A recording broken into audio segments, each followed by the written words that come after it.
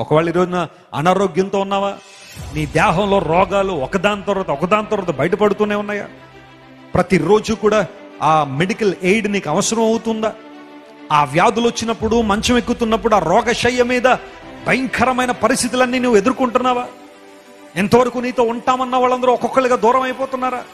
అలాంటి సిచ్యువేషన్లో నువ్వు పలకాల్సిన మాట ఏంటో తెలుసా? నా దేవుడు యెహోవా రాఫా నన్ను స్వస్థపరచగలిగిన వాడు ఆయనే. హలలుయ ఎంతమంది జీవితాల్లో దేవుడు అద్భుతాలు చేస్తున్నాడు? ప్రార్థన ద్వారా ఎన్ని విశిష్టమైన కార్యాలు ప్రభు జరిగిస్తున్నాడు ఆలోచన చేయండి. దేవుడు గొప్పవాడు. ఒకళ్ళు నీలో నీతో ఎవ్వరూ తోడు లేక అందరూ నిన్ను ఒంటరిగా వదిలిపెట్టి వెళ్ళిపోయారా? పరిస్థితులన్నీ ప్రతికూలంగా కనబడుతున్నాయా? అంతకుముందు ఎంతో మంది రకరకాల ప్రతిజ్ఞలు చేశారండి. ఎంతో మంది నీతో ఉంటామని చెప్పారండి. తీరా సమస్య వచ్చినప్పుడు తీరా నేను ఆ స్ట్రగుల్ ఫేస్ చేస్తున్నప్పుడు నా చుట్టూ ఎవరు లేరండి? ఒక్కనే అయిపోయాను ఒక్కదానే అయిపోయాను. ఒంటరి పోరాటం. నేను చెప్తున్నాను దేవుని బిడ్డ నువ్వు చేస్తుంది ఒంటరి పోరాటం కాదు నీతో పాటు నీ ప్రభు ఉన్నాడు. బికాస్ ఈ జహోవా షమ్మా దేవుడు మనకు తోడు.